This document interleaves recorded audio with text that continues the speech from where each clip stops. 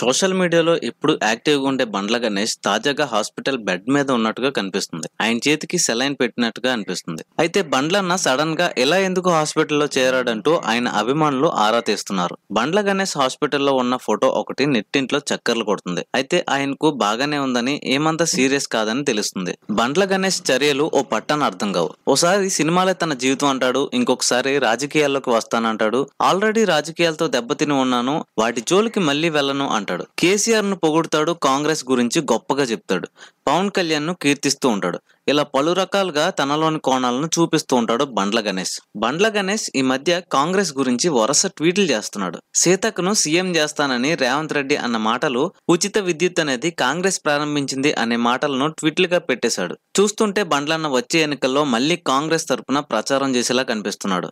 బండ్ల గణేష్ ప్రస్తుతం ఓ పెద్ద సినిమాను చేయాలని చూస్తున్నాడు. కానీ సరైన కాంబో దొరకడం లేదని అనిపిస్తుంది. ఆ మధ్య పవన్ కళ్యాణ్తో సినిమా చేయాలని చూశాడు.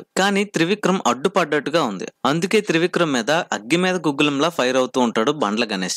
గురూజీ అంటూ ఎప్పుడు ట్రోల్ చేస్తూ ఉంటాడు. అలాంటి బండ్లన్న ఇప్పుడు హాస్పిటల్లో ఉన్నాడు. అయితే ఆయనకు నార్మల్ ఫీవర్ వచ్చిందా ఇతర ఆరోగ్య సమస్యలు ఏమైనా వచ్చాయా అనేది తెలియాల్సి ఉంది. సో ఇది ఫ్రెండ్స్ ఈ వీడియో కనుక మీకు నచ్చినట్టయితే లైక్ చేయండి షేర్ చేయండి. మరిన్ని మన లేటెస్ట్ అప్డేట్స్ కోసం సబ్స్క్రైబ్ అయితే చేసుకోండి. Thanks for watching. Jai Hind.